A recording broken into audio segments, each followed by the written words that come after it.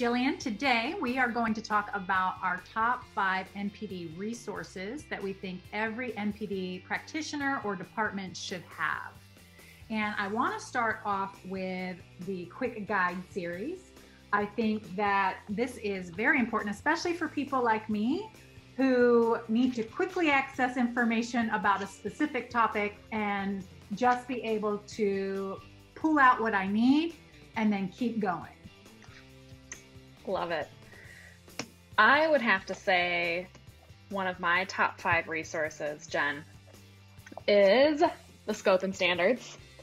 And this goes without this goes without saying this is our this is our primary go-to resource to guide all the things that we do, outlining our standards of practice, um, competencies for the NPD practitioner role. Our NPD practice model is in here. It walks you through each piece of that systems model.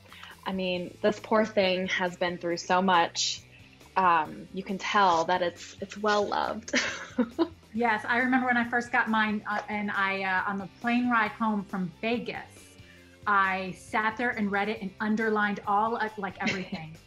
so very good book. The next thing I want to talk about is the Keep Me Out of NPD Jail book, my legal aspects book. And I can't tell you how helpful this has been in ensuring that I am doing things um, correctly and legally. Very, very important, but another must have for NPD practitioners. Yes, I love the stress on content integrity in legal aspects and also it touches on the legalities with student affiliations, so those academic partnerships too. Um, such a good resource. All right, ooh, between the next two, it's a tie. Um, you can't go wrong with the core curriculum. I mean, look at this bad boy. This has everything related to NPD practice and talk about a wealth of wisdom and knowledge for all the contributors within each chapter.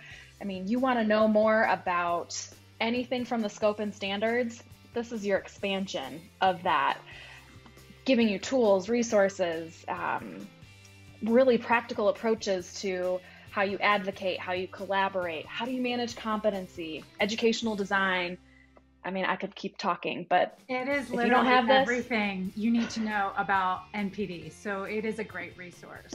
Okay, my favorite book, and I might be a little biased because I absolutely, you know, I facilitate the Leadership Academy, but the Leadership in Nursing textbook because I think it's such an essential role that we fulfill as NPD practitioners so this book gives you all of the business acumen that you need to be able to convey the value of our specialty within your organization. So those are our top five picks for ANPD resources you should have in your department.